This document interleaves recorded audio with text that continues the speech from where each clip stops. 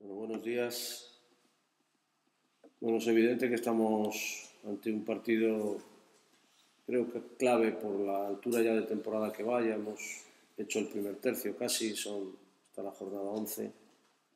Con lo cual ya pues vas ocupando franjas en la clasificación y momentos de temporada que ya son importantes. Cualquier victoria suma una victoria para, para alejarte de otros equipos que te vienen por abajo y una derrota podría ser eh, otra vez meterte eh, en situación pues de, de, que los de abajo te vuelvan a coger. Nosotros tenemos una situación privilegiada y tenemos que intentar mantener la solidez y la eficacia que, la solidez y la eficacia que, que estamos haciendo o demostrando en casa. ¿no? Venimos de una, de, sobre todo de 10 minutos malos, olvidados, analizados, y lo que queremos es que llegue el partido para ofrecer un buen encuentro, aunque sabemos la dificultad que entraña.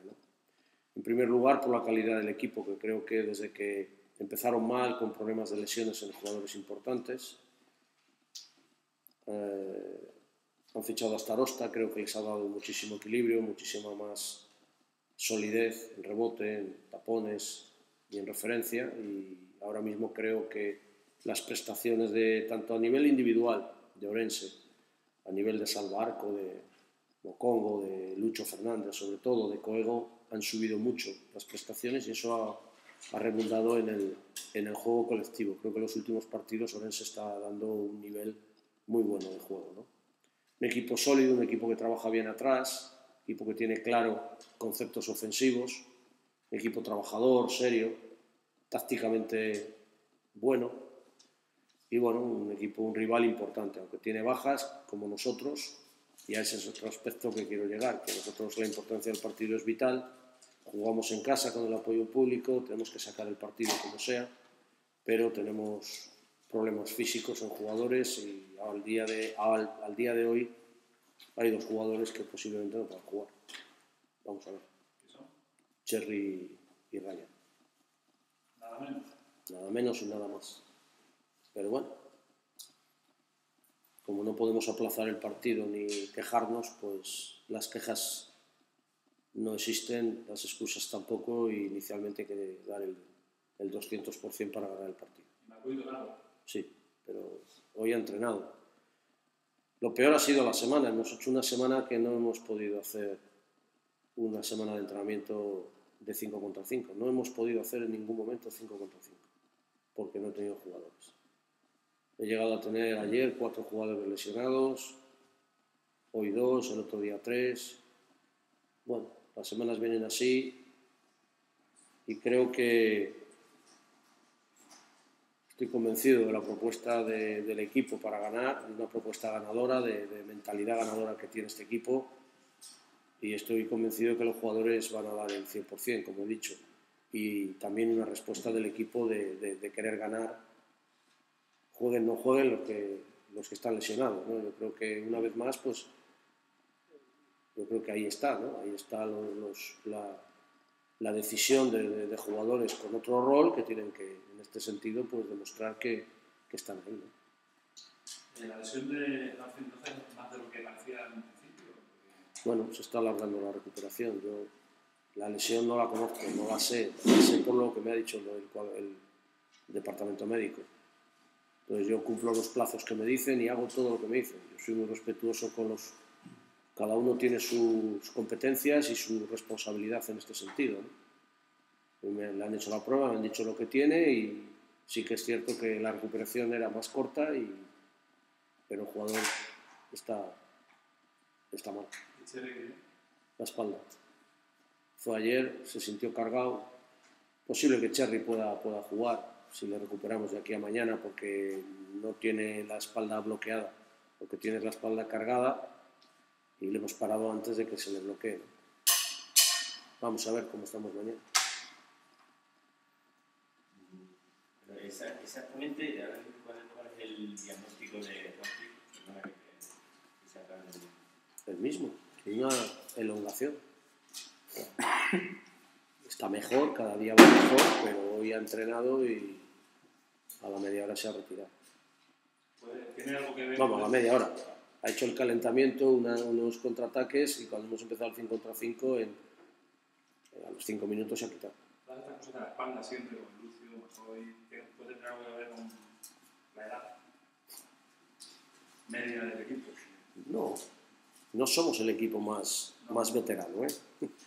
Y hay muchos, la franja de equipos veteranos es, si nosotros tenemos 28,2, el otro más joven tiene 28,1. Es decir, que, y el otro tiene 27,9. Es decir, que, no sé, el otro día lo vi, lo del más joven y tal. Nosotros estamos entre los cinco más veteranos, pero creo que el, el cuarto más joven tiene medio año menos. Es decir, que en ese sentido, no, yo creo que, vamos a ver, son jugadores que lógicamente en todos los equipos están machacados. Ryan es un jugador que ha tenido dos operaciones y tal, está perfecto para jugar y lo demuestra, pero son mala suerte, es una contractura en una elongación de un aductor. No tiene nada que ver ni con las rodillas ni con nada. Carlos Cherry el año pasado no se perdió ningún partido y este año se ha perdido dos porque le cayó Gustavo Ayón y le, casi le parte la rodilla. Es decir, que Francis, que es un tío sano, tiene problemas en el de siempre y el partido que se ha perdido fue porque se quedó bloqueado al bajar del autobús después del viaje de Girona o después del viaje de Huesca.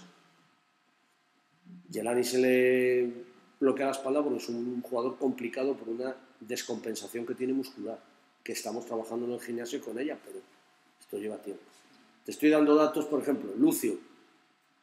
Pues fíjate, La Lucio, mayoría de las semanas está bandado.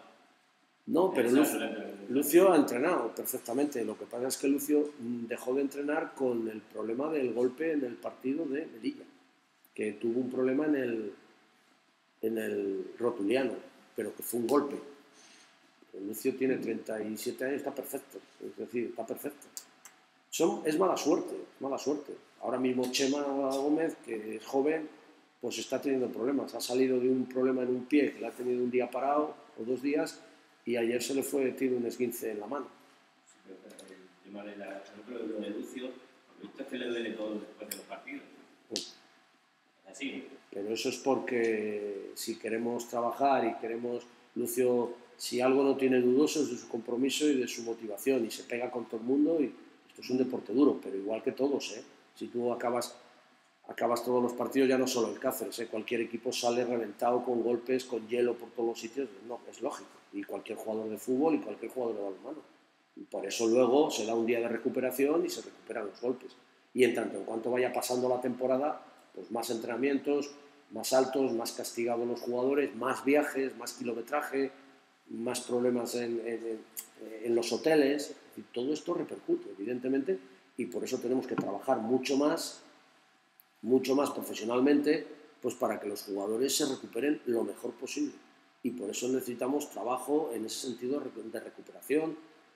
Y bueno, pero a veces las semanas vienen cruzadas y, se te- y no, no hay manera de recuperar a los jugadores. Y la recuperación mental con respecto al partido del otro día. Esa bien, esa nos duró el, el- hasta el martes a mediodía que estuvimos entrenando, estuvimos viendo el vídeo, estuvimos hablando, analizando. Y bueno, como todo, ¿no? Las cosas se ven, se hablan, se corrigen y se intentan hacer borrón y cuenta nueva. No puedes estar viviendo. Igual que cuando ganamos al Isla Tenerife, al día siguiente no estuvimos dándonos besos todavía de, la victoria, pues cuando se pierde, al día siguiente ya tienes que pensar en el, en el próximo.